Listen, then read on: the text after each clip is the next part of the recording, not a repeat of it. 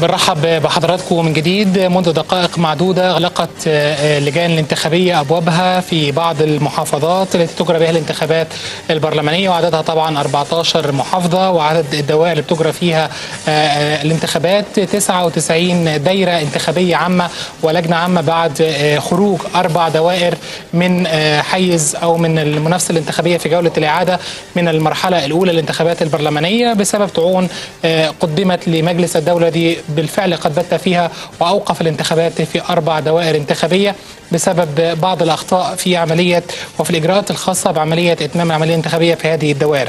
بيتنافس طبعا على 418 مرشح على 209 مقعد في 14 محافظة في 99 لجنة انتخابية وإحنا بنتابع كمان مع حضراتكم اللجان كانت خلال هذا اليوم وليس الآن لأن إحنا أغلقنا بالفعل الانتخابات أو أغلقنا صناديق الاقتراع منذ دقائق كمان النهارده هو اليوم الثاني لإغلاق صناديق الاقتراع في 139 بعثة مصرية حول العالم. يمكن برضو خلال ساعات قليلة جدا هتغلق كافة البعثات الدبلوماسية أبوابها أمام الناخبين. والنهاردة اليوم الثاني للبعثة الدبلوماسية خارج مصر فبالتالي أغلقت بالفعل الانتخابات وفي انتظارين للنتائج اللي بتتوالى من أنحاء العالم المختلفة. كمان القوائم قد حسم أمرها في دائرة شمال وسط وجنوب الصعيد وغرب الدلتا لصالح قائمة في حب مصر المقدر عدد الأعضاء فيها ب 60 مقعد وكذلك حسم أمر أربع مقاعد بالنسبة للفرد فقط في أربع دوائر مختلفة منها دائرتين في محافظة أسيوط ودائرة في الوادي الجديد ودائرة أخيرة في محافظة الجيزة وهي دائرة الدقي والعجوزة. دعونا قبل أن يعني نستسرد في أمور عدة.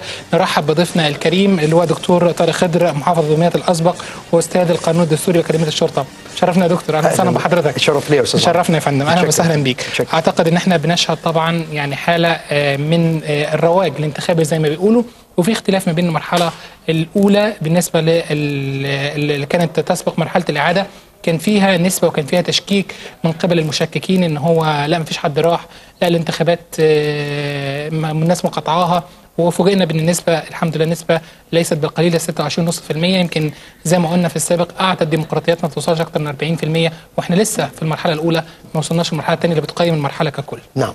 هذا كلام سليم بنسبة 100% نسبة الإقبال على المرحلة الأولى كانت 26 و56 من 100 في المية. حضر وقام بالتصويت 7 مليون ناخب و490 ألف. أنا شايف أن المرحلة الأولى يمكن إحنا كنا بنتمنى أن تكون نسبة الإقبال أكثر من ذلك. عارف دائما أبدا يا أستاذ عمرو بنقول أن بعد الثورات بيكون هناك في إقبال على التصويت. ولكن هذه النسبة إلى حد ما تعد مقبولة نسبيا.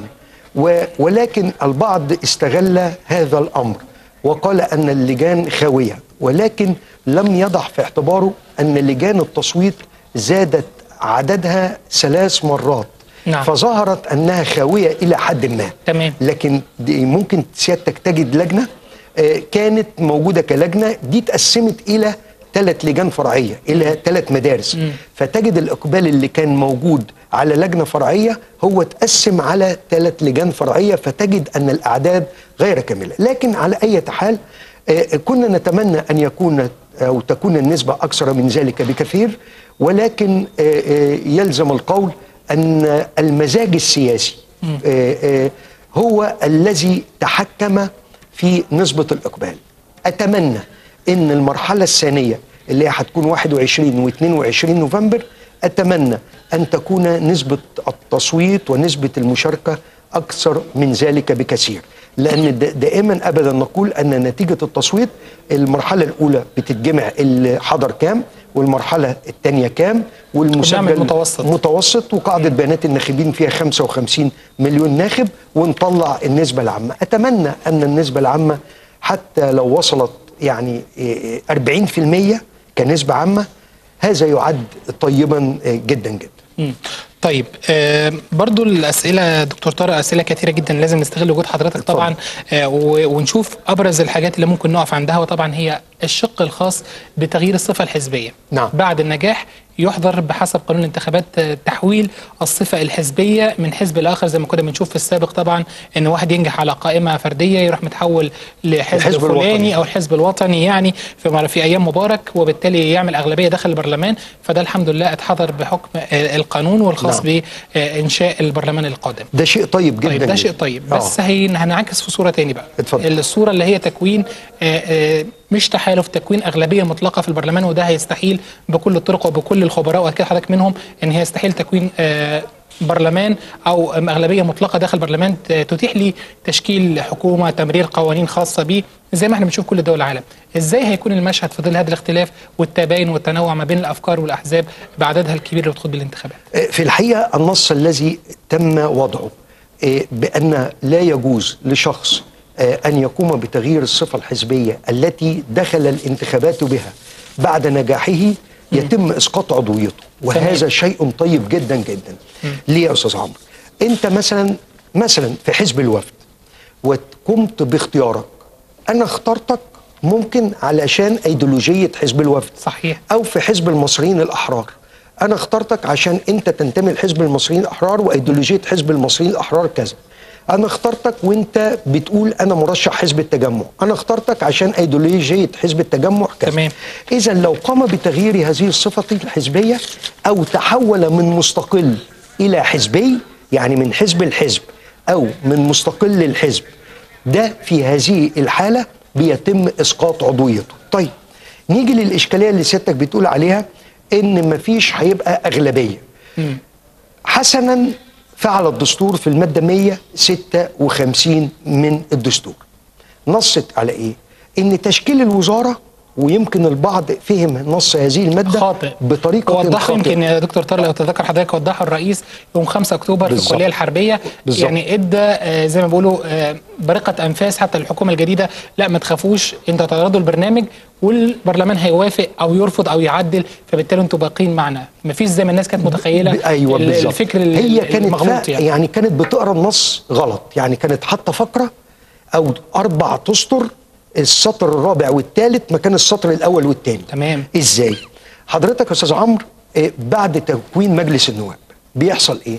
إن رئيس الجمهورية بيختار رئيس وزارة. تمام. لا جبنا سيرة حزب ولا ائتلاف حاصل على الأكثرية. ويكلفوا بتشكيل الحكومة. ويكلفوا بيعرض بيان الحكومة. بيان الحكومة أو برنامج الحكومة على مجلس النواب. خلال كم يوم؟ خلال 30 يوما. وافق مجلس النواب كان به خلاص. لم يوافق في هذه الحالة. رئيس الجمهورية دي الخطوة الثانية بقى بيجتمع بعد التشاور مع رئيس الحزب أو الائتلاف الحاصل على العليا 60 شكوى معظمها عن طلب تغيير لجنة الانتخاب لبعدها عن محل الإقامة ومخالفات للدعاية. وتم حجز إحدى المتهمات كانت تقوم بعمل دعاية لشقيقها داخل مجمع انتخابي بالبدرشين.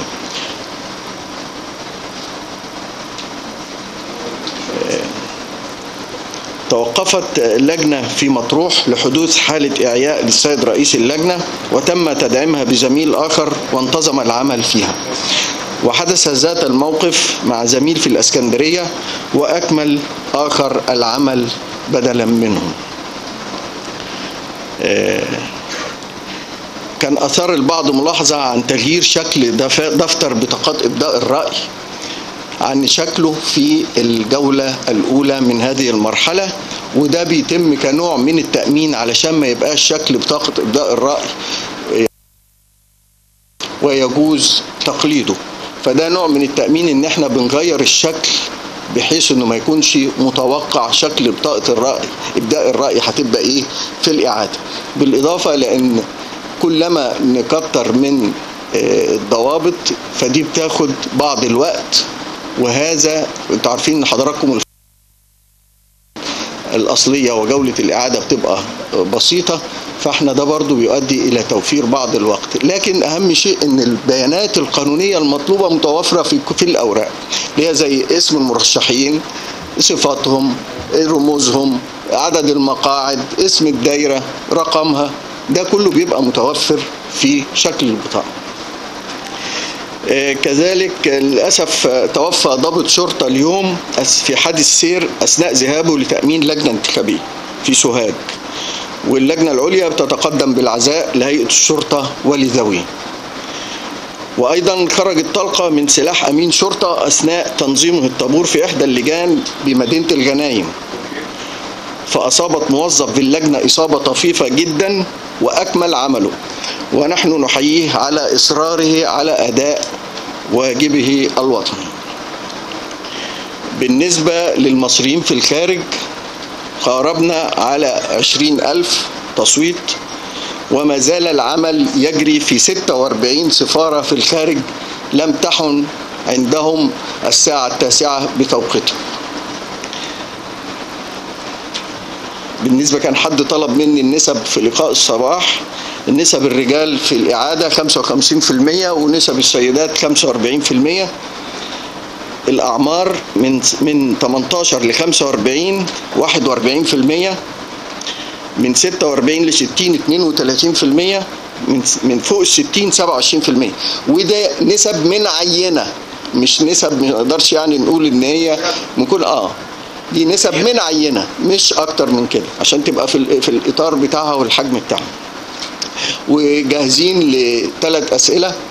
اتفضل يا أستاذ. هو دلوقتي يا فندم فعلا تم استبعاد احد المرشحين آه، في آه، صباح اليوم آه، بخصوص تم شطب أحد المرشحين بالفعل من آه، عملية الانتخابات بسبب آه، تقديمه رشوة انتخابية في منشية القناطر وهل ده الكلام ده صحيح ولا لا؟ وهل برضو تم وفاة أحد المرشحين في المرحلة الثانية من الانتخابات؟ بالنسبة للوفاة فعلا في حادث وفاة حصل في سينا. وبالنسبة للشق الأول من سؤالك إن إحنا لم يصل علمنا بوجود شطب لمرشح بعد. اتفضل.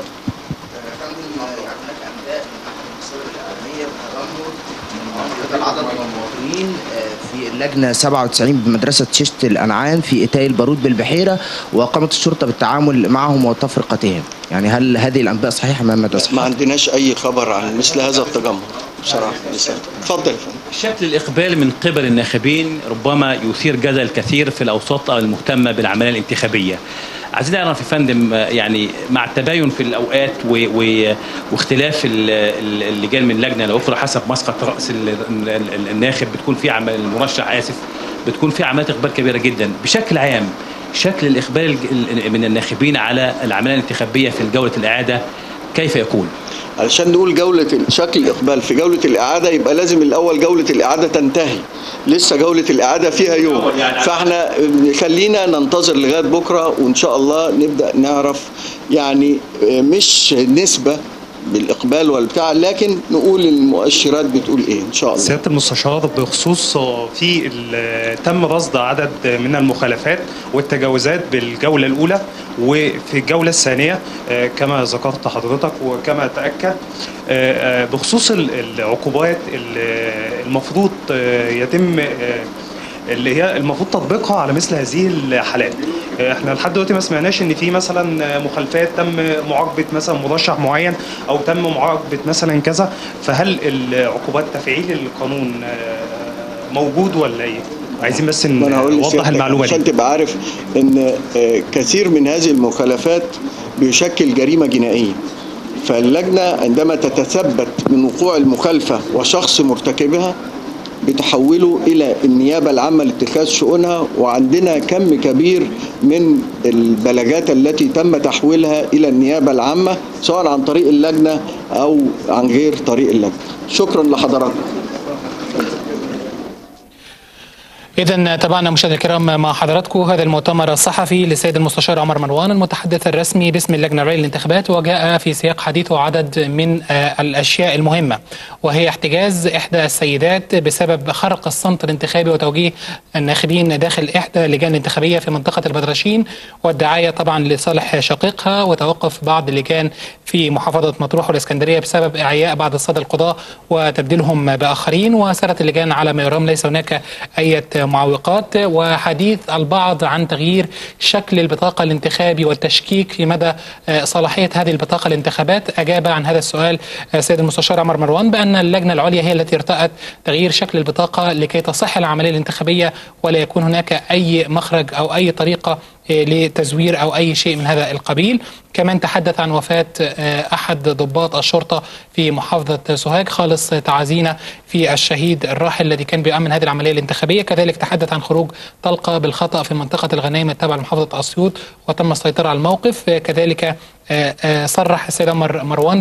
بأن ال- اللجان الانتخابية في الخارج لم تغلق أبوابها بعد لأن الساعة التاسعة لم تحن بعد في هذه الدول على سبيل المثال الولايات المتحدة الأمريكية الساعة لم تأتي تساع حتى الآن فبالتالي التصويت ما زال مستمر في الخارج ولم يغلق الباب في جميع دول العالم وأخيرا نسبة التصويت من الرجال 55% وبالنسبة للسيدات 45% وكذلك هناك وفاة لأحد المرشحين في إحدى الدوائر في سيناء وهي في على العموم هي من المرحلة الثانية وليست المرحلة الأولى. طيب خلينا نذكر آه، بسؤال الحلقة الخاص آه، بهذا اليوم. طبعا بيتحدث هذا آه، السؤال عن كيفية صلاحيات البرلمان القادم. كيف ترى صلاحيات البرلمان القادم؟ صلاحيات مطلقة صلاحيات متوسطة صلاحيات ضعيفة. مرة أخرى السؤال كيف ترى صلاحيات البرلمان القادم؟ صلاحيات مطلقة صلاحيات متوسطة صلاحيات ضعيفة. ننتظر من حضراتكم التواصل عبر المواقع التي تظهر الآن على الشاشة آه، على الفيسبوك وعلى تويتر همزة وصل إي جي دوت إي جي. فبالطبع نتواصل معكم على مدار الساعة وبالطبع نرى أيضا آه، الجديد حول هذا الشأن. و آه، نستاذنك ست اللواء. شوف زميلنا بس عمرو عبد العزيز اتفضل. كان متواجد في مقر اللجنة العليا للانتخابات حيث. المؤتمر الذي كان منذ قليل عمرو تحياتي ليك أبرز ما جاء في هذا المؤتمر وقد ذكرناه منذ قليل وطبعا أيضا السؤال الخاص بك حول أحد اللجان آه، في منطقة آه، أو في محافظة البحيرة وهو نفى بالطبع أي مشكلات تحدث في هذه المحافظة تفضل يا عمرو نعم يعني آه، تحياتي لك عمرو ولضيفك الكريم وللمشاهدين الكرام بالطبع. آه، يعني آه، عقد المؤتمر منذ قليل المستشار عمر مروان المتحدث الرسمي باسم اللجنة العليا للانتخابات والذي ذكر فيه أن يعني الأمور كانت مختلفة في هذه المرة. 60 شكوى تم التقدم بها في العملية الانتخابية ربما معظمها حول الدعاية الانتخابية أو خرق حاجز الصمت الانتخابي الذي حدث في هذا اليوم في كثير من المحافظات. تعداد الشكاوى كما ذكرت 60 آه، شكوى آه، تم حجز إحدى المتهمات التي كانت تدعو آه، لشقيقها في محيط اللجان وتم البدر التعامل. معها أو آه، نعم بالفعل وهي آه، تحت إجراء التحقيقات الآن أمام النيابة آه، العامة تحدث المستشار عمر مروان عن أنه تم تغيير شكل بطاقة الاقتراع وهذا آه، يعني هو إجراء احترازي تقوم به اللجنة العليا للانتخابات في محاولة منها لمنع أي محاولة من محاولات آه، التزوير مع الاحتفاظ بالعلامات الرسمية رقم ال- المرشح واسمه والعلامه ال- أو آه، الرمز ال- الذي يخصه في ورقة آه، الانتخاب تحدثت مع المستشار عمر مروان كما سمعت عمرو عن أن نعم. هناك أحداث شغبة حدثت في م- منطقة ايتاي البارود بالبحيرة وهذا بحسب بعض المصادر الإعلامية لكنه نفى ذلك أو تحدث عن أنه ليس له علم آه، بهذا الشأن ويعني كانت هذا كان هذا المصدر الإعلامي يقول أن آه، أن كانت هناك يعني مشاجرة حدثت ما بين أحد أفراد الشرطة وأحد المواطنين لذا تم آه، على إثر هذا آه، التجمهر لكن كما سمعت المستشار عمر مروان آه، يعني ابدى أنه ليس هناك ليس لديه علم أو ليس لدى اللجنة العليا للانتخابات علم بهذا. تحدث أيضا عن أن وفاة ضابط شرطة أثناء توجهه بمحافظة سوهاج لتأمين إحدى اللجان. وبالطبع ال- الحادث الأبرز هو إصابة أحد الموظفين في إحدى اللجان آه، والذي تعرض لطلق ناري خرج آه، من سلاح خاص بإحدى أمناء الشرطة. أثناء نعم وكان بشكل خاطئ. خرجت آه، الرصاصة آه، ارتدت في الحائط ثم جاءت في الموظف وهو قام بإكمال عمله فهو يعني نتجت عن هذه الطلقة. إصابات سطحية وإصابات خفيفة هذا بحسب آه، تصريحات المستشار عمر وأيضا بحسب بعض المصادر الإعلامية آه، الأخرى. تحدث عن نسب المشاركة وأن نسب الرجال كانت 55% ونسب السيدات 45% ومن عمر 18 حتى ال 45 41% ومن 46 وإلى ال 60 32% ومن 60 إلى ما هو أعلى بنسبة 27% هذا أبرز ما جاء في مؤتمر نعم. آه، الصحفي الذي عقدته اللجنة العليا للانتخابات منذ قليل. إليك عمرو. بشكرك يا عمرو. ونتابع معاك أكيد لو في جديد. بشكرك زميلي عمرو عبد العزيز المتواجد في مقر اللجنة العليا للانتخابات. بشكرك شكرا جزيلا عمرو على المتابعة على مدار اليوم. شكرا جزيلا ليك. ست اللي ممكن نتكلم عن الأجواء الانتخابية وزي ما قلنا تغيير الصفة الحزبية وده موضوع مهم. جدا بيشغلنا يعني جميعا لأن إزاي هيكون في أغلبية مطلقة في البرلمان؟ إزاي هيكون في تشكيلات؟ إزاي هيكون في تربيطات؟ زي ما بيقولوا. وإن كنا يعني نتوقع إن يكون في زي ما نقولوا اندماج. يعني إزاي ممكن حزب آه، يندمج مع حزب آخر عشان يعملوا اغلبية في البرلمان؟ ده ربما يكون هو الأبرز. لكن نقل الصفة الحزبية زي ما حضرتك قلت هتسقط عنه تسقط آه، عن الشرعية. العضوية. طيب تسقط يتم إسقاط العضوية وده شيء طيب جدا لأن ضربت لسيادتك أمثلة. أنت بتختاره طبقا لبرنامج الحزب الذي ينتمي ليه صحيح. حتى لو يا. أستاذ عمرو آه، آه، نجح على أساس إنه مستقل. افرض حضرتك أنت مش مقتنع بولا حزب. واخترت ده عشان ده لا ينتمي إلى أي حزب يعني مستقل. وفوجئت إنه بعد ما دخل مجلس النواب انضم للحزب ألف أو الحزب ب أو ج. تمام. يتم إسقاط العضوية. برضو. يبقى برضو يبقى من لو غير صفته الحزبية أو غير من مستقل إلى حزبي يتم إسقاط العضوية. وده شيء طيب جدا جدا جدا. ويمكن أنا كنت بنادي بهذا الأمر وكتبته في بعض المؤلفات قلت لأن الأيديولوجية أو البرنامج اللي أنت بتختاره يبقى ده خيانة لصوت النائب اللي انتخبك على أساسه. الناخب اللي انتخبك على أساسه. يبقى أنت خنت كده ولم تراعي الصوت لأنه هو اختارك على أساس إنك حزبي تنتمي لحزب كذا أو كونك مستقلا. نيجي بقى زي ما قلت سيادتك قبل ال- التقرير بتاع المستشار عمر مروان كنا بنتكلم على سؤال سيادتك الأغلبية للائتلافات أو الأحزاب. مش هيكون في أغلبية للائتلافات أو احزاب يكون. استحالة. لكن تشكيل الوزارة وده اللي الناس زي ما قلت سيادتك يعني فهموه بطريقة خاطئة. زي ما قلت سيادتك رئيس الجمهورية بيكلف رئيس وزراء بتشكيل الحكومة ويكلفه بعرض بيان حكومة على مجلس النواب خلال 30 يوم. وافق مجلس النواب كان به لم يوافق. هنا بقى بيتدخل الحزب أو الائتلاف الحاصل على أكثرية مقاعد مجلس النواب. وهنا حسنا فعل الدستور. ما قالش أغلبية مقاعد الأكثرية. آه أكثرية. تفرق كتير. آه طبعا. لأن مقاعد مجلس النواب يعني أكتر مثلا من نص المقاعد. يبقى ده واخد أغلبية مقاعد مجلس النواب. لكن أكثرية افرض حضرتك ائتلاف أو حزب واخد 100 والتاني واخد 90 والتالت واخد 80 والمستقلين واخدين كذا. يبقى هتجد الأكثرية ممكن تلاقيه 100 120 130 على أقصى تقدير. أنا أتوقع إن طبقا للخطوة الثانية بيتشاور رئيس الجمهورية طبقا للمادة 156 مع رئيس الحزب أو الائتلاف الحاصل على أكثرية مقاعد مجلس النواب حول اسم رئيس الوزراء. وبالتالي يكلفه بتشكيل الحكومة يعرض بيان الحكومة على مجلس النواب خلال 30 يوم. يجي بقى هنا مجلس النواب يرفض بيان الحكومة للمرة الثانية يعد مجلس النواب منحلا. اذا هذه حالة من حالات مجلس النواب طبقا للمادة 156 من الدستور. طيب. البعض فسرها يا أستاذ عمرو خطأ إزاي؟ حطوا الخطوة الثانية اللي هي الحزب أو الائتلاف الحاصل على الأكثرية كأنها خطوة أولى.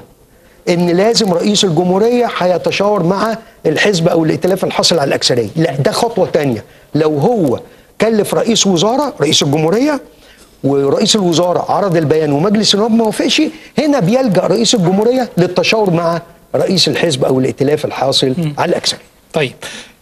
عائق البعض عوائق داخل الدستور. اتفضل. يعني في عوائق في الدستور بالنسبة لممارسة السلطات. البعض بيقرأ إن هي مزايا نوعية بتحقق, بتحقق توازن ما بين السلطات الثلاثه التنفيذية والسلطة القضائية والسلطة التشريعية. كويس. لأن في خلط ما بين الثلاثه أو الدستور ما كانش ما كانش حا- حاسم بالقدر الكافي كويس. تكملة لكلام حضرتك بقى ماده 161 في الدستور شافها البعض إن هي عائق في ال في ال في ال- بالنسبة للصلاحيات. بسحب الثقة. بالظبط. سحب الثقة نقرا المادة بعد إذنك اتفضل. يا فندم. إيه، آه، أجاز طبعا الماده 161 أجازت لمجلس النواب اقتراح سحب الثقة من رئيس الجمهورية صح. وإجراء انتخابات رئاسية مبكرة بناء على طلب مسبب وموقع من غالبية أعضاء مجلس النواب على الأقل وموافقة ثلثين اعضائه ما يعني آه، طبعا ممكن يحصل تحالف وبالتالي ربما يكون في سحب للثقة بأي حال من الأحوال لا. طبعا دي في استحالة نسبية بس إيه اللي ممكن يحصل؟ أصل نهاية المادة هي الحل بتاعت المادة مم.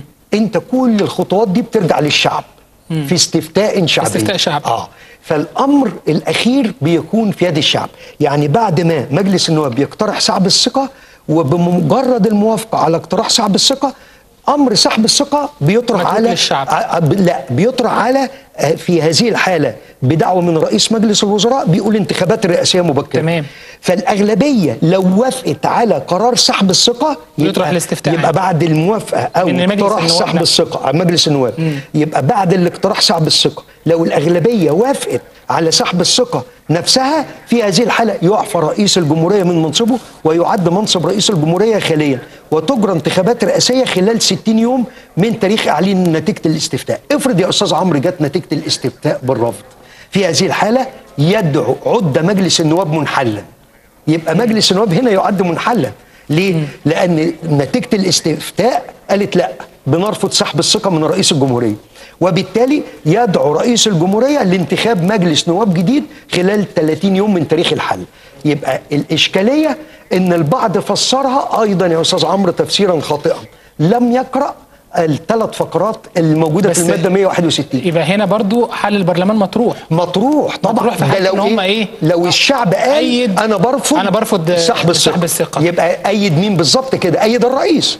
وبالتالي إحنا بنقول لهم عايزين اقتراح سحب الثقة؟ طب كملوا نص المادة 161 طب ليه للآخر. ليه التخوف يا دكتور موجود طالما في ضمانات حقيقية موجودة؟ شوف يا أستاذ عمرو طلعت موضة من حوالي شهر شهر ونص.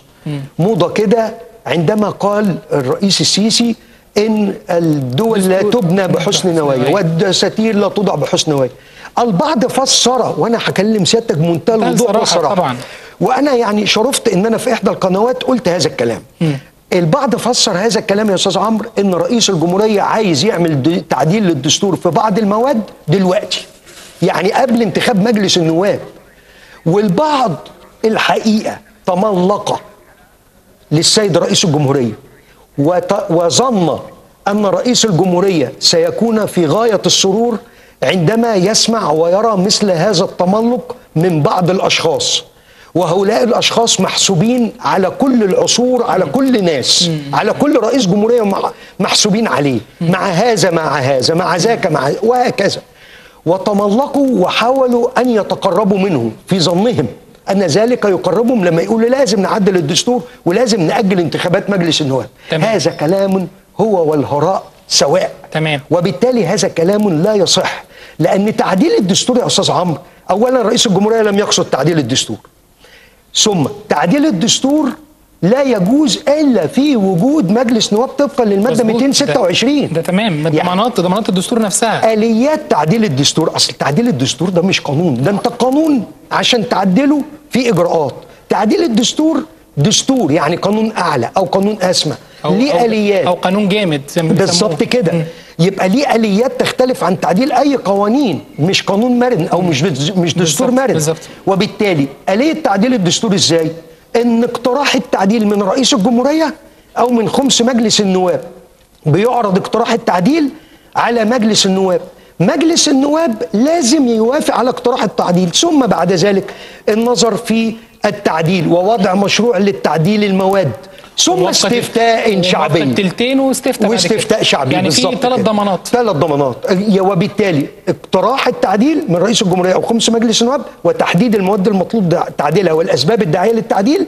ثم مناقشة مبدأ التعديل ثم مناقشة المواد بعد تعديلها واغلبيه التلتين ثم استفتاء شعبي. اذا من يريد أن يعدل الدستور؟ هذا كلام يعني اسمح لي أقول كلام فارغ كلام محاولة للتملق من السيد رئيس الجمهورية وهو وجه انتقادات لهؤلاء. مظبوط. المادة المهمة جدا بقى. اتفضل يا فندم. لازم مش هقدر أفوت وجود حضرتك النهارده. المادة 156 دي كويس. أهم مادة عندنا أو أهم نقطة يمكن نطلع بيها من حوار النهارده. هي المادة دي على وجه التحديد. اتفضل. عندنا حوالي 350 قانون اصدرهم الرئيس واصدرهم كمان الرئيس عدلي منصور أثناء فترة حكمه وبتنص المادة دي على وجه التحديد بقى. ينبغي على مجلس النواب الجديد مراجعة القوانين التي أصدرت قبل انعقاد وانتخاب مجلس النواب في غضون 15 يوم من انعقاد دورته الأولى وإلا لغيت بأثر رجعي إلا إذا رأى البرلمان غير ذلك. 350 هتفاجأ. أنا عايز أسألك حضرتك أيوة. 350 قانون كويس. هل يستطيع التدقيق والمراجعة الدقيقة وسماع كل شيء ل 350 قانون صدر وترتب عليهم آثار قانونية وخلال تثبت 15 خلال يوم؟ 15 يوم وإلا لغايه باثر رجعي أعتقد يعني أشك في ذلك هطمنك اتفضل يا فندم. وهطمن السادة المشاهدين ولها حل بسيط جدا جدا جدا اتفضل. إيه هو اولا هم عشان ستك تكون عارف دي قرارات بقوانين أصدرها السيد رئيس الجمهورية وأصدرها رئيس الجمهورية المؤقت سيادة المستشار المحترم مستشار عدلي منصور ورئيس الجمهورية سيادة الرئيس عبد الفتاح السيسي. تخطوا ال 440 قرار بقانون تمام. اثنين طبقا لهذه المادة أن هذه القرارات بقوانين تعرض. إذا كانت في غيبة مجلس النواب ما كان شيء غير موجود. مجلس النواب غير قائم. تعرض وتناقش ويوافق عليها خلال 15 يوم. تمام.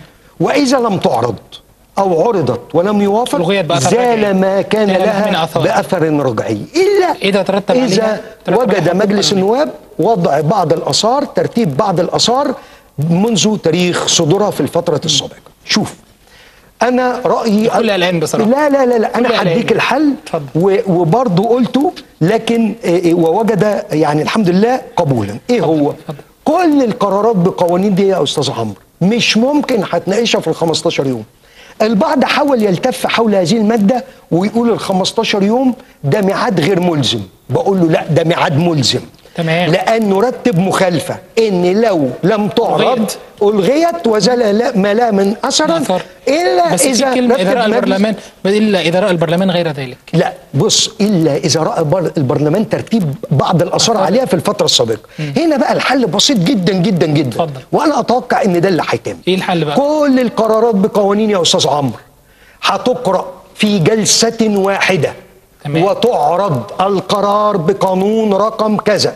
بشان التظاهر السلمي والاجتماعات العامة القرار بقانون رقم كذا بشأن مواجهة الإرهاب القرار بقانون رقم كذا بشأن إعفاء رؤساء الأجهزة الرقابية والمستشار يا دكتور؟ هقول لسيادتك اتفضل. ويقول كل القرارات بقوانين يبقى عرض ويتناقش يقول هل ترون الموافقة على هذه القرارات بقوانين كجملة؟ كجملة خلال المدة حتى لا يحدث فراغ في الدولة دي عرض هو وقال المناقشة دي.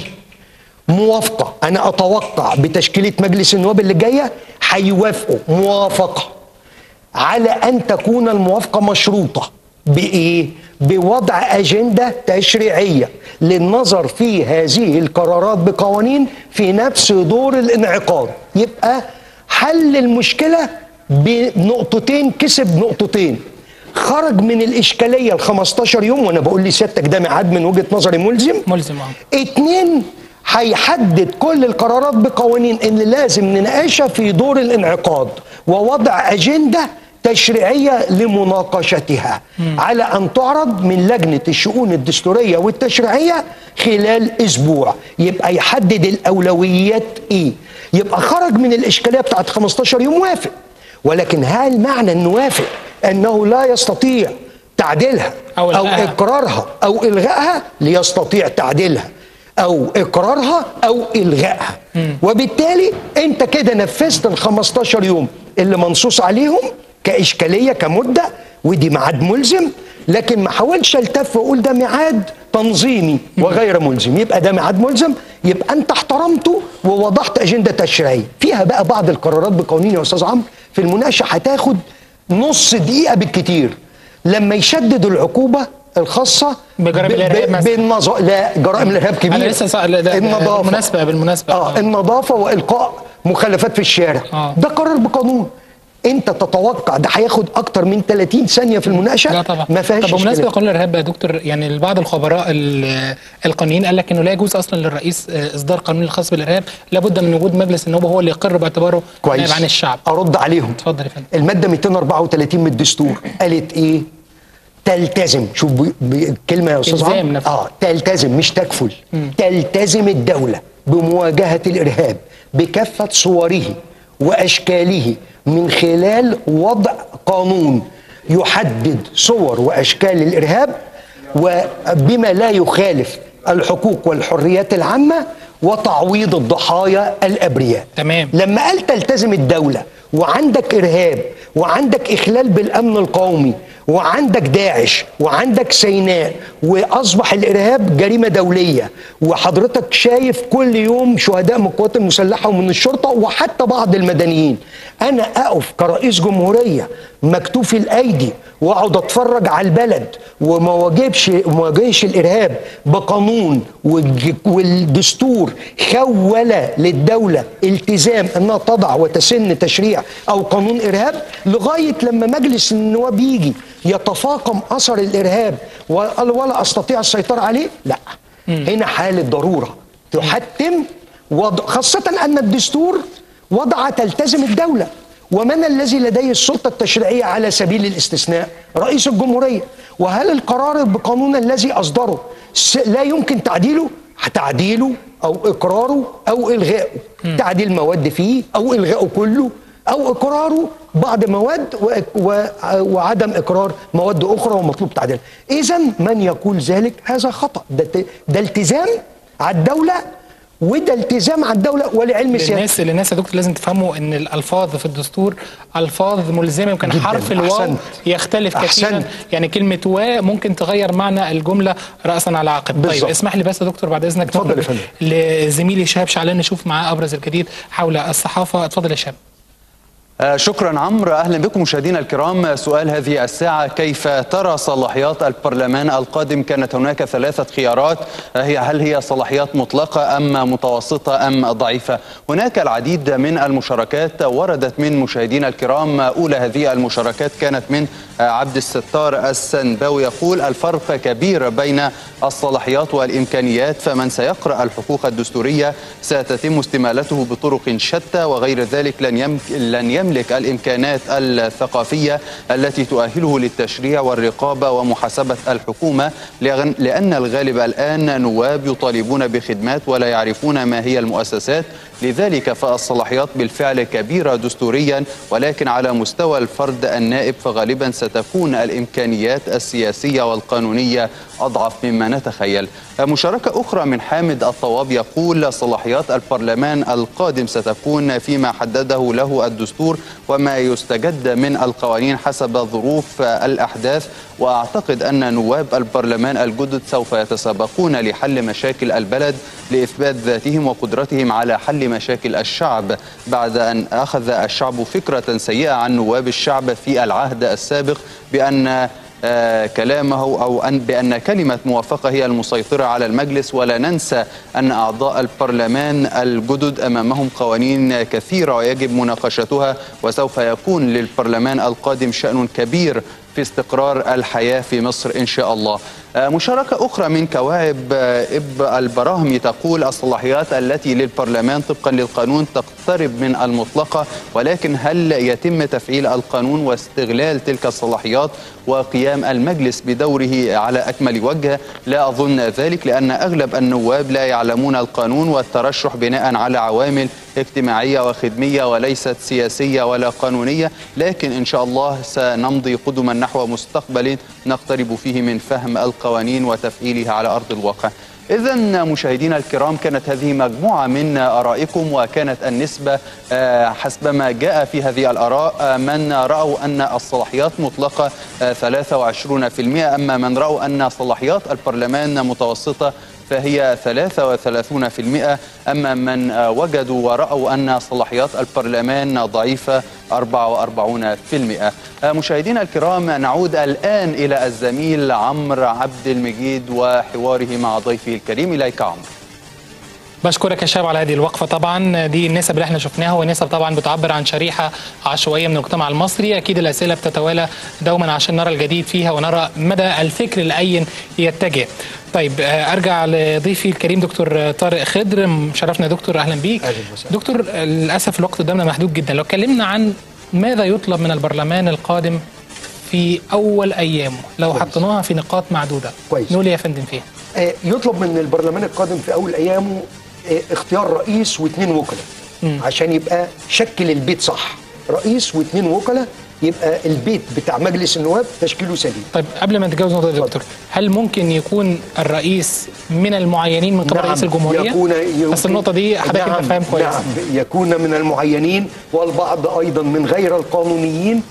كان أو قال كيف يكون يكون من غير معين، آه. من المعينين. أقول لهم المرحوم الدكتور رفعت المحجوب كان من المعينين وكان رئيسا لمجلس الشعب بمسماه السابق. إيه بعد كده مجلس النواب هيشوف القرارات بقوانين اللي سيادتك آه، يعني استفسرت مني عليها.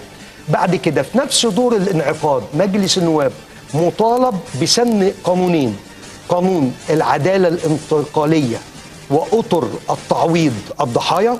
وسن قانون لترميم وبناء المكا... الكنائس وحماية الإخوة المسيحيين لممارسة شعائرهم الدينية مادة 235 والمادة 241 قالت في أول دور انعقاد يحط القانون ده والقانون ده مع القرارات بقوانين ويبدأ بقى يراقب الحكومة وأنا أتوقع إن قانون الإدارة المحلية هيكون من أهم القوانين التي مظبوط. سيسنها صحيح. مجلس النواب القادم ال- الكارثة الإدارية يا أستاذ عمرو. دي ليست كارثة بيئية. الكارثة الإدارية التي حدثت في اسكندرية الح- الحق يقال أنها كارثة إدارية لا تليق بمصر ومن لم يستطع إدارتها لابد من محاسبته لأنها أزمة ولم يستطع إدارتها. إذا صحيح. من اختاره يعني لم يكن اختيارا موفقا. وقبل طبعا ده كله يا دكتور لازم يسنوا القانون الخاص باللائحة التنفيذية لمجلس النواب القادم اللي هو مش موجودة أصلا دلوقتي. هو احتمال اللائحة أطمن سيادتك إن قسم آه، آه، آه، السيد رئيس أو وزير الدولة لشؤون مجلس النواب سيادة المستشار مجدي العجاتي قال إن سيتم وضع اللائحة تمام. لأن يا تمام. عمرو بتصدر بقانون. طبقا لنص الدستور خلينا وهيتم وضعها نستسرد فيها إن شاء الله إن في شاء الله. أنا بشكرك إن شاء الله. شكرا جزيلا على حضورك يا. دكتور اللواء سيادة. الدكتور طارق خضر أستاذ القانون الدستوري بأكاديمية الشرطة محافظة الدمام الاسبق شرفتنا يا دكتور أهلا وسهلا. بحضرتك أشكرك اذا مشاهدينا الكرام التغطيات ما زالت مستمرة على شاشة النيل الأخبار لحظة بلحظة انتظرونا بعد الفاصل من جديد إن شاء الله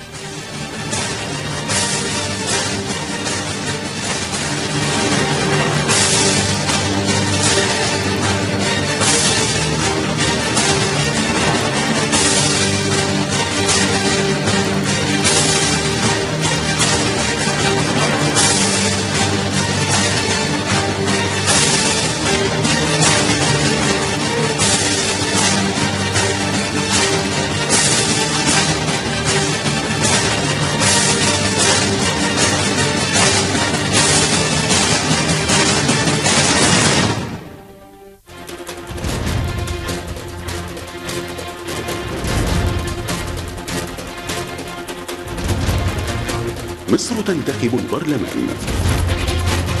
ونحن نرصد لكم سير العملية الانتخابية على مدار اليوم. بكل نزاهة وحيادية.